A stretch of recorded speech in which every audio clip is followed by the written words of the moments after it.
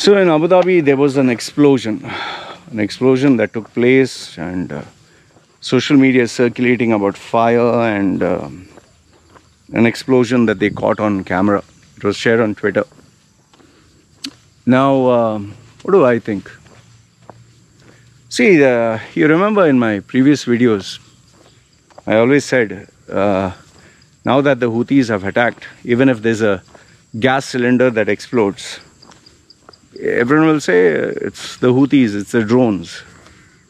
Now the question is, was this a drone attack or was this a gas cylinder? Your guess is as good as mine. We can speculate all we want. Uh, could, could it have been a drone? I'm no expert, I'm no military expert. Neither are you. Could it have been a gas cylinder? See, um, the problem here is this. Because of what the Houthis are doing, and like I told you, the reason why they're doing it is because it was instigated by Saudi and uh, UAE. Okay, a poor country will not just suddenly decide, okay, we'll attack a rich country. They have to be pushed to the brink. The easiest thing to have done was try to mend. Okay, you messed up, you fucked up, you goofed up, whatever. Stop it, right? Like, see this World Islands, this Palm, one, two, three, this airport. See all these projects. UAE were boasting about leadership and vision and all that. They realized it was a mistake. But they're not admitting that it is a mistake. Because if you do admit, Sheikh Mohammed will look like a fool. So they're just keeping quiet and they're acting like nothing happened. Even with this Yemen issue, there's a nice big motorbike coming. Wait, let him go. They always like to make big sound. Let me walk the other way.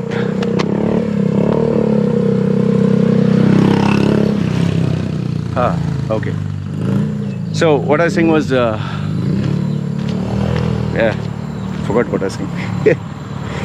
See now, if they, you know, these these these projects, they can't say it is a failure, so they have to keep quiet. They are still trying their best to salvage what was done. Imagine billions worth of sand and dredging and work has gone only for it to be a waste. It's an ecological disaster.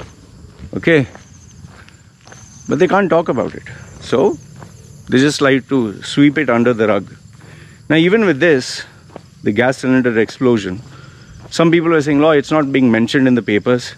Yeah, because they want to, they have been instructed to keep a low key, not talk about it, and people will forget. But the problem is today in social media, people don't forget. People will talk about it. Twitter will share. Everyone will chatter. People want engagement. That's why people hardly check the news. I mean, how many of you trust Gulf News, Khaleej Times, and national paper being in the UAE? You know that it's all, uh, you know, the sanitized version of the news. Now, if you personally ask me, this is me. Okay, this is me.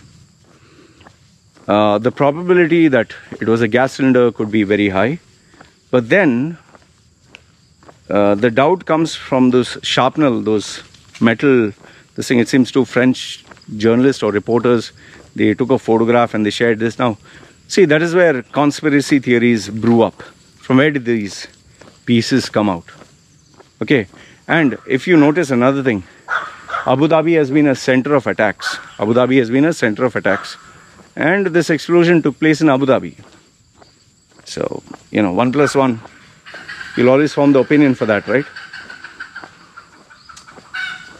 See, all this is doing just one thing it's keeping people on the edge, it's making people very nervous, which is not a good thing. UAE was supposed to be the safe place, safe haven, where all this drama and nonsense was not there.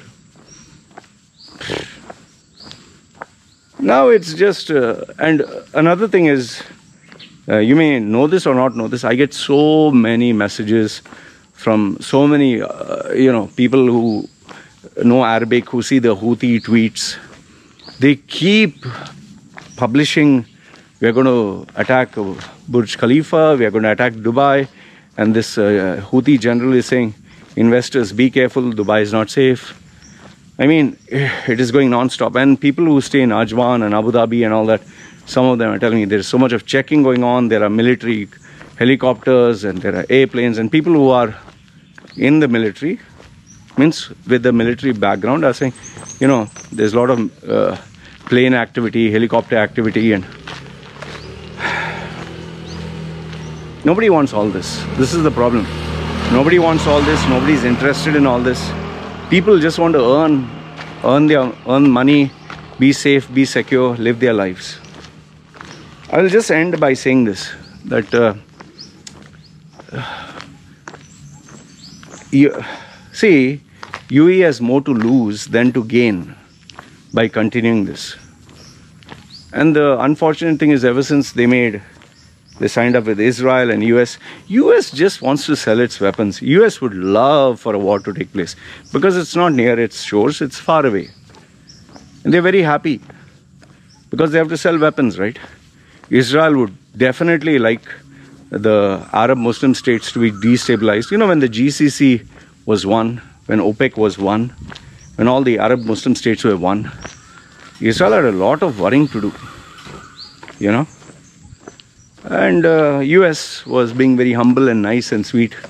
Now US is very happy, divide and rule. Oh, you're all broken. You're not friends with him, he's not friends with you. Take some weapons here to protect from him. Oh, you take some weapons to protect from him. yeah, they have to make money. They're in the business of weapons, right? Like the pharmaceutical trade. They're in the business of selling medicines and uh, you know, you're sick. Oh, very good. Oh, protect yourself from this virus, that virus take this shot, take that shot. That's how they make money. You see, this is a game of money. You just have to open your eyes and see what is going on. When you create a problem and you are able to provide a solution, you make money. So, uh, US is nobody's friend. That is one thing which all the economies have realized. That is why now every country is playing a political trump card. You get uh, Russia, China together, and of course Venezuela and all these other places. Now US wants to show Russia pressure, so they are bringing Ukraine into NATO and Russia saying, yeah, don't fuck around with me.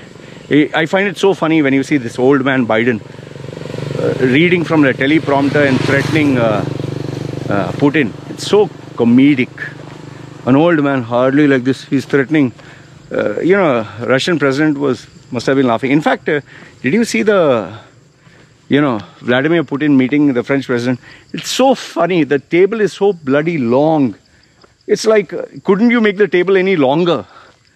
I mean, it's like, hey, French president. And the French president, yeah, Vladimir. Such a big long table. It's so comedy. And even when they had to finally speak to the press, he was one side, the French president another side. And when they left, they normally shake hands and they're close together. They kept them far apart.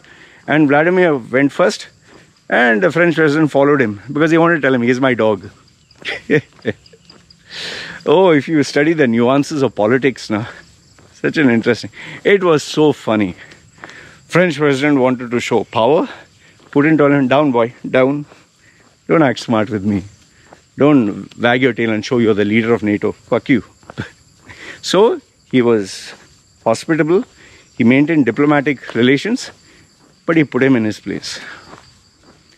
Uh, and UAE wants to show, no, US don't act smart with us. So they went to the Olympics and they shook hands and China is a, it's it's all a game and it's a chess game. It's a, it's very interesting and funny at the same time. But at the same, but the problem is only you'll have people who will. Uh, it's uh, lay people who will suffer. Anyway, I was not convinced uh, uh, with this French president. He is just looking to position himself as a leader and take advantage of the opportunity. Russia knows that he's playing. So, anyway, these are my thoughts. You let me know what are your thoughts. Love to hear from you. And yeah, comment down below. Let me know what I need to know. And yeah, stay safe.